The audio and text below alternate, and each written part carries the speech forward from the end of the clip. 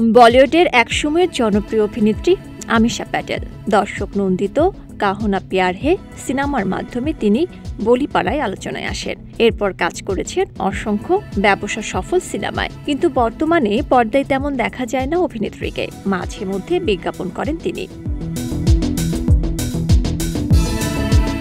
সম্প্রতি জানা গেল, আইনি ঝামেলায় পড়ছেন আমিষা প্যাটেল। তার বিরুদ্ধে মামলা দায়ের করেছে একটি স্বেচ্ছাসেবী সংগঠন। তাদের অভিযোগ আমিষা প্রতারণা করেছেন তাদের সঙ্গে। চুক্তিবদ্ধ হয়েও তিনি সময় দেননি।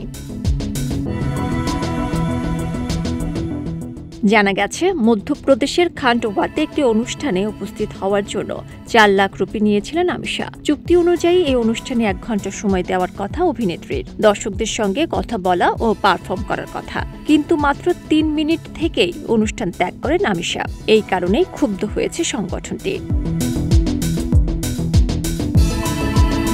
তবে স্বেচ্ছাসেবী সংগঠনটির এই অভিযোগ উড়িয়ে দিয়েছেন আমিষা প্যাটেল। তিনি টুইটারে লেখেন নবচন্ডী মহোৎসবে অংশ নিয়েছিলেন। এই উৎসবের পরিচালনা এতটাই খারাপ ছিল যে ভিড়ের চাপে তার প্রাণ যেতে পারত।